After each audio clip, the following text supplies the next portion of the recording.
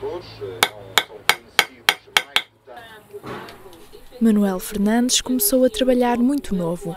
Hoje, com 56 anos, revela que se tornou sapateiro por necessidade e encontrou nas suas sandálias uma forma de ocupar os tempos livres. Quando saí da escola primária, foi logo de seguida, comecei e depois ainda larguei, ainda tive uma altura, ainda, ainda não deixei de trabalhar nisto e depois voltei outra vez ao mesmo serviço. A minha mãe é, praticamente é que, é que me obrigou. Obrigou, quer dizer, obrigou não, Pronto, uma pessoa naquela altura, naquela altura não tinha mais para onde ir e comecei, depois acabou por ficar. Manuel é um homem de poucas palavras e não consegue parar de trabalhar enquanto conversa com Alto Minho TV. A rapidez com que faz dois pares de sandálias impressiona, no entanto ainda demora algum tempo até chegar ao produto final. Se estiver só dedicado a fazer um par, demora muito tempo. Eu procuro sempre fazer um par ou dois de cada de, na mesma altura, em conjunto, porque vou trabalhando numas, vou trabalhando noutras, ou trabalhando no concerto do calçado.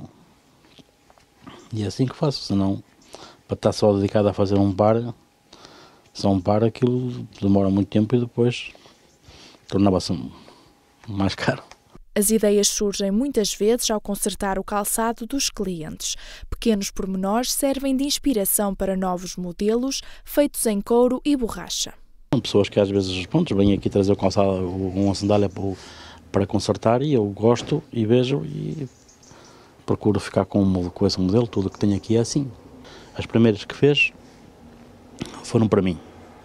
Ainda trabalhava aqui em cima num colega e a, a fazê-las assim mais em quantidade. Isso já foi aqui embaixo. No princípio fazia, mas era pelo, pelo pé das pessoas e depois é que mandei vir estas formas e aí já comecei a fazer mais quantidade. Não tenho muitos números de, de, cada, de, cada, de cada marca, mas procuro tempo ser um, ter um número de cada para quando as pessoas aparecerem para as vender. O que é que as pessoas dizem sobre as sandálias? Que são confortáveis, que se anda bem com elas e um demais. Na loja situada na Vila de Paredes de Coura, Manuel já soma mais de 20 modelos de sandálias prontas a ser estreadas no próximo verão.